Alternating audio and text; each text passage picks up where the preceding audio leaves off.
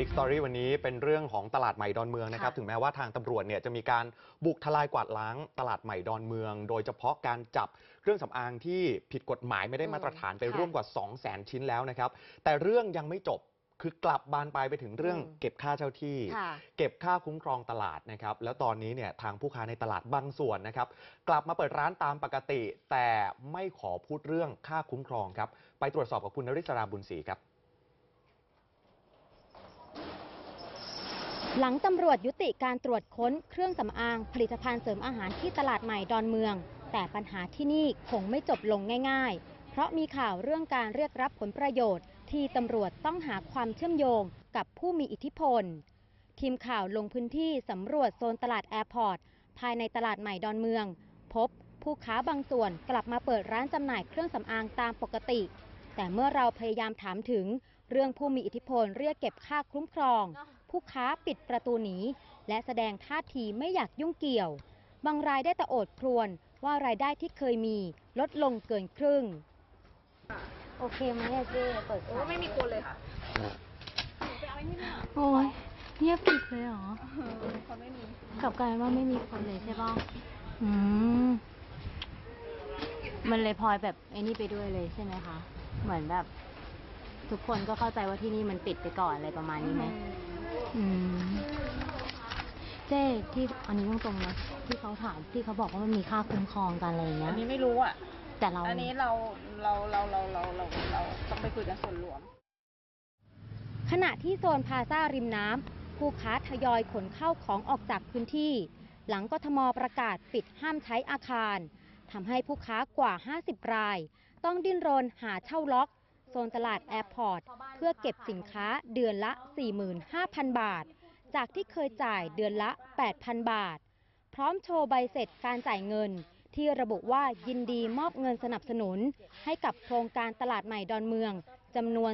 2,500 บาทต่อเดือน เพื่อใช้เป็นค่าใช้จ่ายในการบริหารจัดการกิจกรรมต่างๆ ของโครงการ ก็ต้องย้ายไปฝั่งย้ายนู้นี่นกำลังย้ายอยู่ ย้ายไปเช่าฝั่งนู้น เช่าฝั่งนู้น ที่มันมีล็อกว่างอยู่ใช่ไหมเดือนละสี่พันห้าไอ้สี่หมื่นห้าเดือนละเดือนละสี่หมื่นห้าโอ้โหหรือปาดเหงื่อกันนะเดือนละสี่หมื่นห้าสี่หมื่นห้าเขาคิดยังไงอะลุง จะไม่รู้ว่าห้องละสี่พันห้าแต่เดือน พันตำรวจโทสันทนะประยูรรัตน์ยอมรับ ก่อนหน้าที่จะมาเป็นที่ปรึกษาตลาดใหม่ดอนเมือง ทราบว่ามีการเรียกเก็บเงินค่าคุ้มครองจริง แต่เมื่อตนเข้ามาบริหารงานร่วมกับนายสุชาติโชวิวัฒนา กรรมการผู้จัดการใหญ่ตลาดใหม่ดอนเมือง ช่วง 2-3 ปีที่ผ่านมา ได้จัดระบบใหม่ให้เก็บเป็นค่าส่วนกลาง ไม่เคยนำเข้าบัญชีตนเอง ซึ่งเงินส่วนนี้อยู่นอกบัญชีรายรับรายจ่าย อ้างเป็นรายได้ที่ไม่แน่นอน ตอนนั้นคำว่าส่วนกลางไม่มีมีแต่ส่วนตัวคือไปชี้เอา ถ้าร้านถ้าเรื่องค่าจอดรถซอยนี้ของของโทษนะ ของกูนะอันนั้นของมึงอันเนี้ยใช่ไหมรปภรักษาอันนี้ของกูต้องคุมอย่างเงี้ยเนี่ยคือคือมันเป็นเรื่องเรื่องที่ว่านั่นคือยุคก่อนไง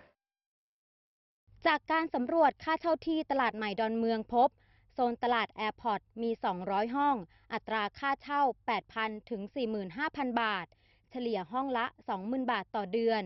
รวมเป็นเงิน 4 ล้านบาทต่อเดือน ขณะที่โซนพาณิชย์ 182 คูหา เฉลี่ยห้องละ 20,000 บาทต่อเดือน รวมเป็นเงินกว่า3ล้าน6แสนบาทต่อเดือน รวมรายได้ที่นี่ทั้งหมด7ล้าน6แสนบาทต่อเดือน แต่จ่ายให้กับกรมธนารักษ์ในการเช่าพื้นที่ 21 ไร่1แสนบาทต่อเดือนใน อาคารพาณิชย์182คูหาเนี่ยจะต้องให้ผู้เช่าเดิมเนี่ยได้สิทธิการเช่าถูกไหมคะทีนี้เนี่ยเมื่อเมื่อผู้เช่าเดิมที่ถูกเพลิงไหม้เนี่ยบางคนก็ไม่รับสิทธิ์ก็ก็โอนสิทธิ์เนี่ยให้กับบริษัทตลาดใหม่เนี่ยไปประมาณ77คูหาอืมที่เหลือที่เหลืออีกร้อยกว่าคูหา ก็จะเป็นผู้เช่ารายย่อยๆๆๆเป็นผู้เช่าพัฒนารักษ์ค่ะโครงการพัฒนาตลาดใหม่ดอนเมือง เป็นพื้นที่ของราชพัสดุมอบให้กับกองทัพอากาศสร้างที่อยู่อาศัย แต่เมื่อเกิดไฟไหม้เมื่อปี 2539 ทำให้ผู้เช่ารายย่อยบางส่วน โอนกรรมสิทธิ์ให้บริษัทพัฒนาตลาดใหม่ดอนเมืองเป็นผู้บริหาร และทำสัญญาเช่ากับกรมธนารักษ์ 30 ปี เพื่อพัฒนาพื้นที่เชิงพาณิชย์ วงเงินลงทุน 320 ล้านบาท นริศลาบุญศรีสำนักข่าวไทยสมทรายงาน